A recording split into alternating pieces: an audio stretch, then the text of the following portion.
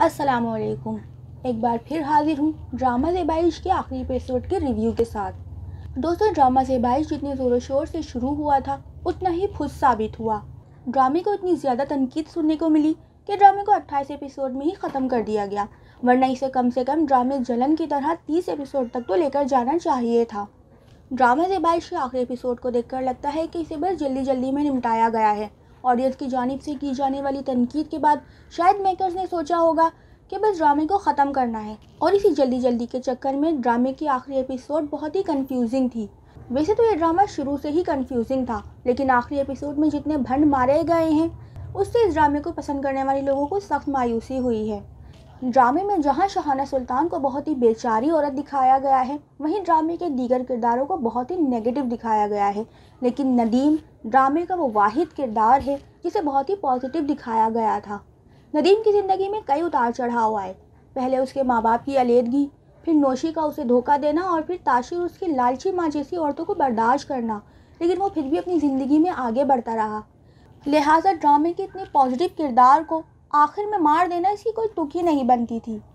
Makers ने यहाँ इतना बड़ा भंड मारा है कि नदीम की खुदकुशी की वजह तक नहीं बताई और ना ही ये बताया गया कि दिलावर को किसने मारा। अगर दिलावर को नदीम ने मारा है तो नदीम ने अपनी जान क्यों ली? ये बहुत ही कंफ्यूजिंग एंडिंग थी, कुछ समझ नहीं आ रहा था। शहाना सुल्तान को इस ड्रामे में काफ़ी आला जर्फ खातून दिखाया गया है, जो अपने मुँह बोले रिश्तों के लिए अपनी करोड़ों की जायदाद तक कुर्बान कर देती है। लेकिन जब आखिरी एपिसोड में उसका एक्स हस्बैंड उससे मुआफ़ी की भीख माँगता है तो वो उसे माफ़ी नहीं करती। ये बड़ी अजीब बात दिखाई गई। ड्रामे में बुशरा अंसारी ने शाहाना सुल्तान का मरकज़ी किरदार अदा किया है और ये ड्रामा शुरू से लेकर आखिर तक बुशरा अंसारी के गिर्द ही घूम रहा था। लेकिन ड्रामे के आखिरी एपिसोड में शाहाना सुल्तान की ज़बान को जैसे ताले लग गए। बस अपने बेटे की तस्वीर को पकड़कर रोती रही।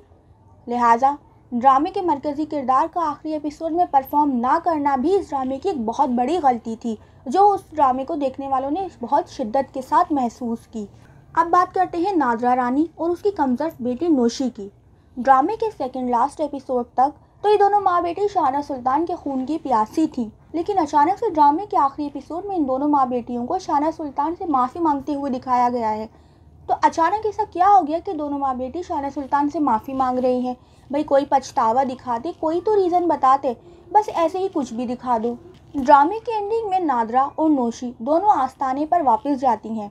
इन पर तो वही मिसाल फिट बैठती है कि लौट के बुद्धू घर को आए। भाई, जब वापस आस्थाने पर ही जाना था तो इतना रायता क्यों फैलाया? ड्रामा सीरियल जेबाइश की कहानी इतनी भी बुरी नहीं थी। इस ड्रामे ने आखिर तक लोगों को अपने से जोड़े रखा, लेकिन सिर्फ़ यूट्यूब की हद तक।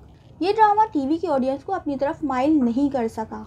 दरअसल खराबी ड्रामे की कहानी अदाकारी में नहीं थी, बल्कि एडिटिंग में थी। ड्रामे की एडिटिंग इतनी ख़राब और इतने बुरे तरीके से की गई थी कि इसके फ्लॉप होने का सारा जिम्मा इसके एडिटर को जाना चाहिए।